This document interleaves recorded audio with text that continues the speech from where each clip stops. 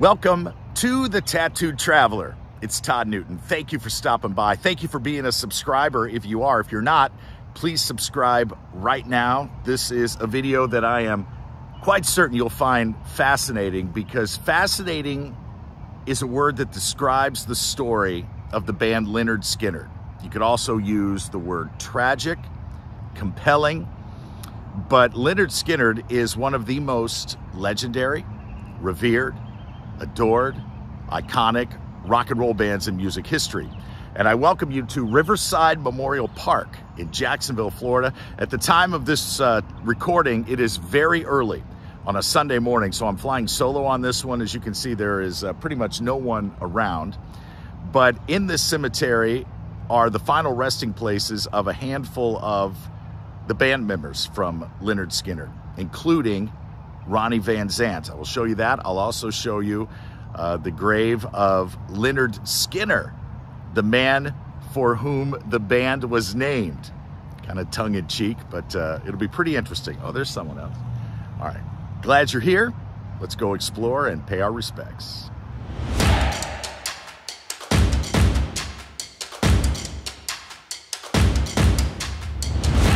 The band Lynyrd Skynyrd formed right here in Jacksonville in 1972. Went on to give the world hits like Gimme Three Steps, Sweet Home Alabama, Simple Man, Free Bird, of course. And this is the original pianist, Billy Powell.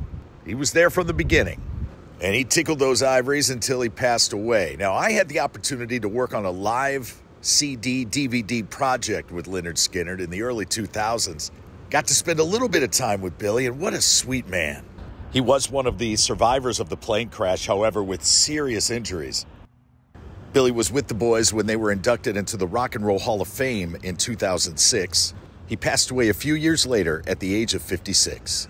The famous plane crash of which I speak happened in 1977, just over Gillsburg, Mississippi. It claimed six lives. Fortunately, there were 20 survivors, among them Gary Rossington, the longtime guitarist and the last of the original band members. Sadly, Gary passed away just days before the making of this video, but he will be laid to rest in this very same cemetery alongside his band brothers. At just a few feet to the left of Billy's grave and what will soon be Gary's grave is that of Leon Wilkeson. Leon was the bass player, and he was really well known for those hats. I only saw Leon play a couple of times. And when I worked on the project that I mentioned before with these guys, Leon didn't say much. He had sunglasses on most of the time, but he always had that hat on. But man, once he hit the stage, he really came alive. And Leon was one of the survivors of that plane crash in 1977. He was seated next to Steve Gaines. And when that small plane made impact, he went face first into the bulkhead, but fortunately survived. He passed away in 2001. And by the way, that plane was on its way to Baton Rouge from South Carolina, and it ran out of fuel over Gillsburg, Mississippi. Now, how did the band come up with that unique name? Well, it's all because of this guy, one of their high school teachers by the name of Leonard Skinner. He's buried here as well. Here is Mr. Skinner, Mr. Leonard Skinner. Now, as the story goes, Mr. Skinner was a gym coach, a PE coach at the high school where a lot of the band members attended. And of course, the guys had longer hair. And Mr. Skinner would always get on the kids who had the longest, the long hair, you know. But that was the fashion at the time. They all wanted to be rockers and hippies and independent and, you know, express themselves however they wanted. Mr. Skinner would write them up time after time, put them in detention, send them to the principal's office, whatever the proper punishment, if you will, was. And as sort of a snarky teenage tribute to the teacher that harassed them so much, the guys named their band Lynyrd Skynyrd, spelled a little differently. And he made the most of it once they became famous. Opened a bar, opened a real estate business. Before he died in 2010, he said those boys worked hard, lived hard, and boozed hard.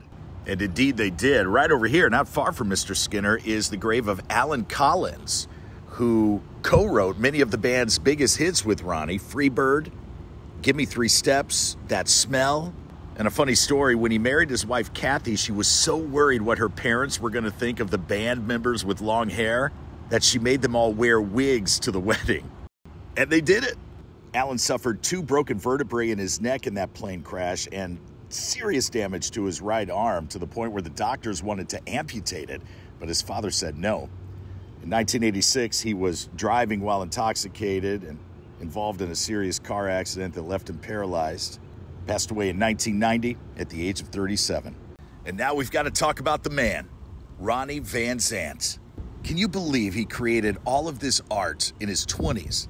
And when he died in that plane crash, the world was devastated. And I think it's because everyone knew, or at least felt, that there was so much great art still inside of him. And right by this pond, under this giant oak, it's beautiful here. It's the grave of a simple man. Ronnie Van Zant. Fans have left beer and Jack Daniels to have a drink with Ronnie. And right here, for family and fans to sit and reflect, this bench, a brief candle, both ends burning, an endless mile, a bus wheel turning, a friend to share a lonesome time, a handshake and a sip of wine. Say it loud and let it ring that we're all part of everything the future, present, and the past. Fly on, proud bird, you're free at last.